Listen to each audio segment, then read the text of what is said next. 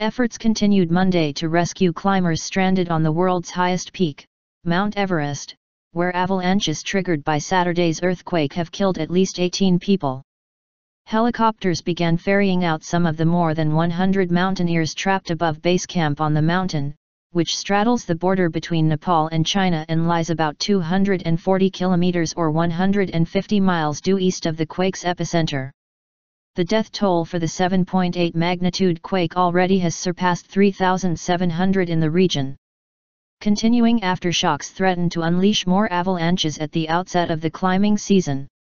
Hundreds of mountaineers were on Everest a peak of 8,850 meters or 29,035 feet when the quake struck.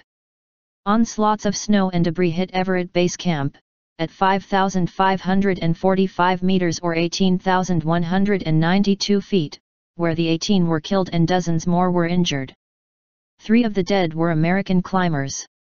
The snow swept away many tents and people, sunburned guide Gyelu Sherpa told the Associated Press. He was among the first 15 injured survivors to be transported to the capital, Kathmandu, for treatment. A Sherpa cook, Bhim Bahadur 35, said he was preparing a meal when the avalanche rumbled. We all rushed out to the open and the next moment a huge wall of snow just piled on me, he told the AP in brief airport interview before he was driven to a hospital. I managed to dig out of what could easily have been my grave. I wiggled and used my hands as claws to dig as much as I could. I was suffocating, I could not breathe. But I knew I had to survive. Key equipment swept away. The snow's force wiped out climbing ropes and other equipment used in ascents, stranding climbers at several higher camps. Ed Viesturs, a celebrated U.S. climber who has reached Everest's peak seven times in 11 attempts, described to VOA the challenges facing mountaineers and rescuers. The people at Camp 1, the lowest of four camps above the base, are at about 20,000 feet, Viesturs told VOA by phone from Ketchum, Idaho. If they've got feed and fuel fuel to melt snow to make water they can survive there for a good period of time. Experienced guides scale the mountain gradually, spending roughly a week at base camp, to acclimate to oxygen levels that decrease at higher altitudes. But Viestur said the thinning air creates difficulties for helicopters. The air is so thin, the amount of lift they have is minimal, so you can't add a lot of extra weight, he explained. The choppers likely could carry one or two, maybe three people at a time, so there's going to be a lot of shuttling. Landing spots also are difficult to find on the mountain, Nepal's tourism minister, Tulsi Gautam, told the BBC. Some walked to safety or treatment.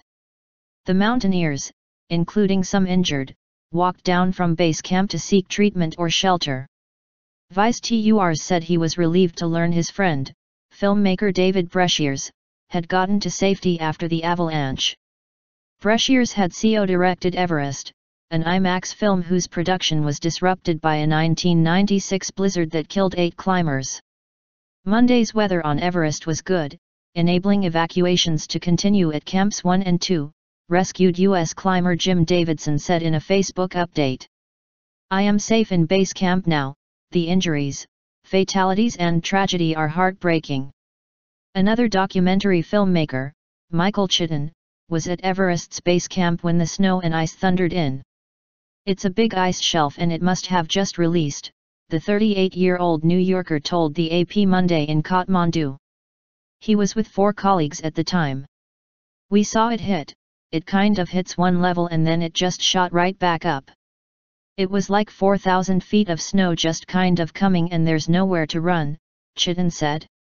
So I told everybody to get down and then put my hands over my head and, like, just buried myself as much as I could. And basically snow hit, it's about 45 seconds or a minute for it to go by. Concern for locals. Climber Nick Cienski had helped recover the bodies of at least 12 avalanche victims. We are still sorting through a lot of emotions, 24 hours ago, we were wrapping people's body parts in bags, the Canadian told Reuters news agency. Like Viesturs, he expressed grave concern for the Sherpas and other Himalayans. The deadly avalanche comes roughly a year after the April 18 avalanche that killed at least 13 Sherpas on Everest, inciting anger among the local populace over their low pay and high risk. This year's tragedy makes a dismal start to the climbing season, which brings vital money into Nepal's economy. Mountaineers pay a standard fee of $65,000 to climb with Russell Brice's Himalayan experience, Reuters noted. Climbing mountains is inherently risky and dangerous, Viesturs observed. The way we minimize the risk is by being smart and conservative and humble.